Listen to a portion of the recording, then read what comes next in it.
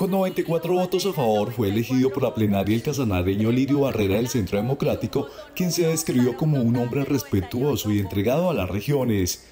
He sido un senador respetuoso de la Constitución la ley, respetuoso de la forma de pensar de los senadores, de las personas.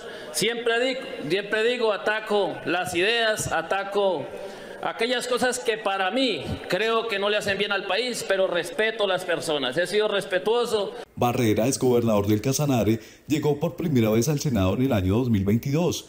Durante su discurso resaltó sus logros políticos y dijo sentirse orgulloso de su origen campesino. Es la primera vez que un casanareño, que un monterraleño hace parte de la mesa directiva del Senado de la República, un campesino, como muchos de ustedes, que de pronto desconoce muchas cosas, pero que solamente en su corazón lo mueve el amor por esta patria, el amor por su gente. El ahora nuevo segundo vicepresidente del Senado advirtió que apoyará las iniciativas del gobierno que le hagan bien al país y las que considere nocivas les dirá no.